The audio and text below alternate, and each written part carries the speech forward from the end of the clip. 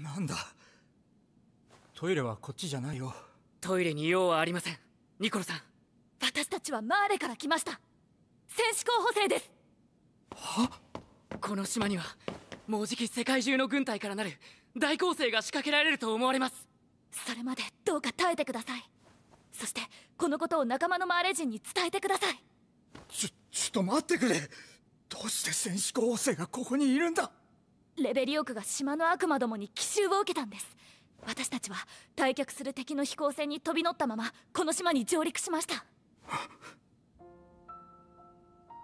誰か殺したか。女の兵士を。はい仕留めました。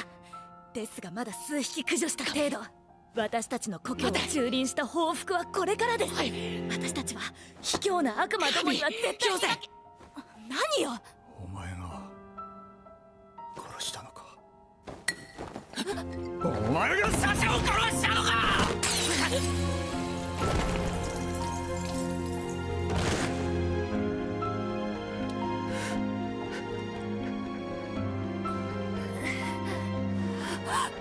ファルコねえ？ファルコ大丈夫？ファルコ！ファルコ！ファルコ！起きてねえって！ばねえファルコ